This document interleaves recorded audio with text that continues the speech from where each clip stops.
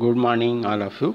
तो बच्चों, हम पाठ पढ़ रहे थे जामुन का पेड़, ठीक है? जिसके लेखक हैं कृष्ण चंद्र जी। कृष्ण चंद्र जी, यह बात कहते हैं कि वह आदमी जो है जामुन के पेड़ के नीचे दबा हुआ है और उसकी फ़ाइल जो है एक दफ्तर से दूसरे दफ्तर दूसरे दफ्तर से तीसरे दफ्तर घूम रहा है।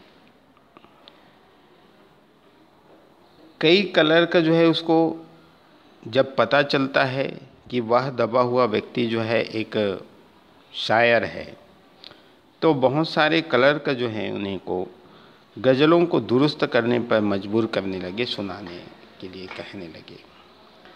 जब यह पता चला कि दबा हुआ आदमी एक शायर शायर है तो सेक्रेटरीट की सब कमेटी ने फैसला किया चूँकि दबा हुआ आदमी एक शायर है इसलिए इस फ़ाइल का संबंध ना एग्रीकल्चर डिपार्ट से है, न ही हार्टिकल्चर डिपार्ट से है, बल्कि सिर्फ़ यह जो है कल्चर डिपार्टमेंट से है। कल्चर डिपार्टमेंट से अनुरोध किया गया कि जल्द से जल्द मामले का फैसला करके अभागे शायर को इस फलदार पेड़ से छुटकारा दिलाया जाए। फ़ाइल जो है कल्चर डिपार्टमेंट के अनेक विभागों से गुजरती हुई साहित्य अकादमी के सेक्रेटरी के पास पहुँच। बेचारा सेक्रेटरी उसी समय अपनी गाड़ी में सवार होकर सेक्रेटरीट पहुँचा और दबे हुए आदमी से इंटरव्यू लेने लगा। कहने लगा, तुम शायर हो? उसने, उसके पूछते ही कहा, जी हाँ। दबे हुए आदमी ने जवाब दिया हाँ मैं शायर हूँ।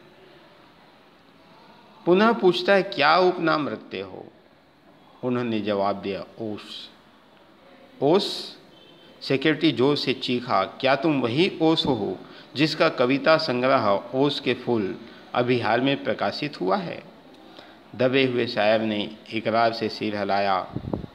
सिर हिलाते हुए उसके हाँ में हामी भरी, क्या तुम हमारी अकादमी के मेंबर हो?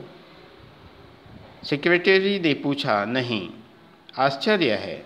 सेक्रेटरी ज़ोर से चीखा, इतना बड़ा शायर ओस उसके फूल का लेखक और हमारी अकादमी का मेंबर नहीं है, सदस्य नहीं है। उफ, ये कैसी भूल हो गई। हमसे कितना बड़ा शायर और कैसी अंधेरी गुमनामी में दबा पड़ा है। गुमनामी नहीं, एक दरख्त के नीचे पड़ा हुआ है। कृपया मुझे इस पेड़ के नीचे से निकालिए। अभी बंदोबस्त करता हूँ, सेक्रेटरी फ़ौरन बोला और फ़ौरन उसने अपने विभाग की रिपोर्ट की। दूसरे दिन सेक्रेटरी भागा भागा शहर के पास आया और बोला, मुबारक हो, मिठाई खिलाओ हमारी सरकारी साहित्य अकादमी ने तुम्हें अपनी केंद्रीय शाखा का मेंबर चुन लिया है। यह लो चुनाव पत्र। मगर मुझे इस पेड़ के नीचे से तो निकालो। वह दबा हुआ आदमी कहता है, लेकिन उसका कोई नहीं सुन रहा है। दबे हुए आदमी जो है दर्द से करा रहा है। उसकी सांस जो है बड़ी मुश्किल से चल रहा है, ऐसा महसूस हो रहा है, ऐसा प्रतीत हो रहा है।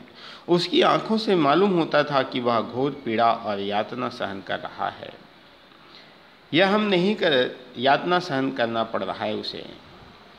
यह हम नहीं कर सकते, सेक्रेटरी ने कहा, और जो हम कर सकते थे, वह हमने कर दिया। बल्कि हम यहाँ तक तो कर सकते हैं कि अगर तुम मर जाओ तो तुम्हारी बीवी बच्चे को वजीफ़ा दे सकेंगे। अगर तुम दरख्वास्त दो तो हम वह भी कर सकते हैं।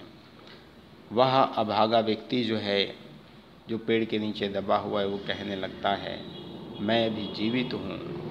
शायर रुक रुक कर बोला, मुझे ज़िंदा रखो। मुसीबत यह है कि सरकारी साहित्य अकादमी का सेक्रेटरी हाथ मलते हुए बोला, हमारा विभाग सिर्फ़ कल्चर से संबंधित है, उसके लिए हमने फॉरेस्ट डिपार्ट को लिख दिया और अर्जेंट लिखा है। शाम को माली ने आकर दबे हुए आदमी को बताया, कल फॉरेस्ट डिपार्ट के आदमी आकर इस पेड़ को काट देंगे और तुम्हारी जान बच जाएगी। ऐसा सूचना मिला।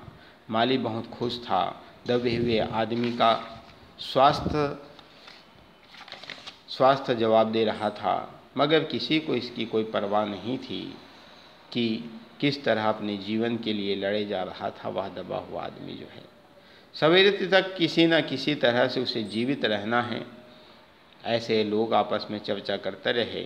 दूसरे दिन जब फॉरेस्ट डिपार्टमेंट के आदमी आरी कुल्हाड़ी लेकर पहुँचे तो उनको पेड़ काटने से रोक दिया गया।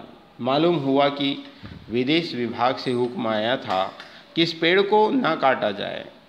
कारण यह बताया गया कि इस पेड़ को 10 साल पहले पिटोनिया राज्य के प्रधानमंत्री ने सिक्रेट के लान में लगाया था। अब अगर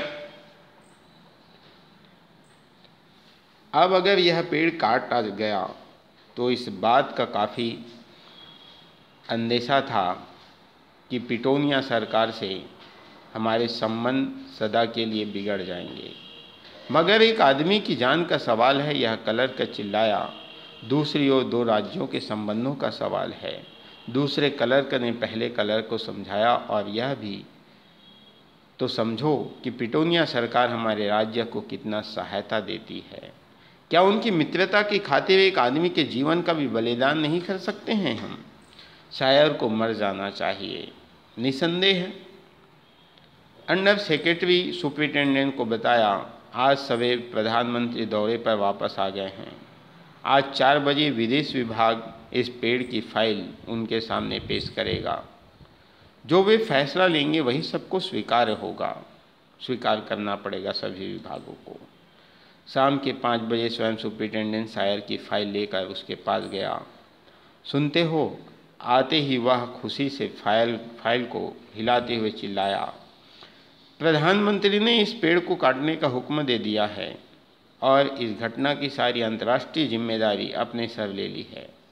कल यह पेड़ काट दिया जाएगा और तुम इस संकट से छुटकारा हासिल कर लोगे। सुनते हो, आज तुम्हारी फ़ाइल मुकम्मल हो गई है। मगर शायर का हाथ ठंडा था, आँखों की पुतलियाँ निर्जीव थी और चीटियों की एक लंबी पंक्ति जो है उसके मुँह में जा रही थी।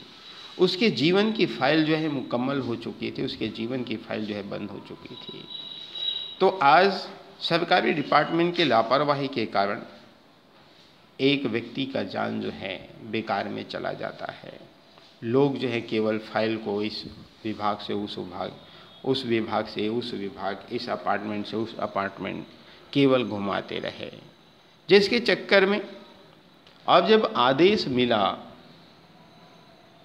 कि उस पेड़ को काट दिया जाए, तब तक वह व्यक्ति जो है, परलोक से धार चुका था, उसके जीवन की फ़ाइल जो है, बंद हो चुकी थी।